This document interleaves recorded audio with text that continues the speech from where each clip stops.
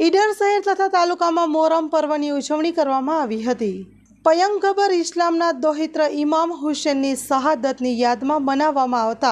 મોહરમ તહેવાર નિમિત્તે આજરોજ ઈડર કસ્બા મુસ્લિમ મોટી જમાત દ્વારા ઈડર શહેરમાં તાજિયાનું જુલુસ તેમજ ઈડર તાલુકાના મુટેડી ગામના પણ મુસ્લિમ સમાજ દ્વારા તાજિયાનું જુલુસ કાઢવામાં આવ્યું હતું, જેમાં મોટી સંખ્યામાં મુસ્લિમ ભાઈઓ બહેનો હાજર રહ્યા હતા અને પોલીસ દ્વારા ચુસ્ત બંદોબસ્ત સાથે સુરક્ષા ગોઠવવામાં આવી હતી.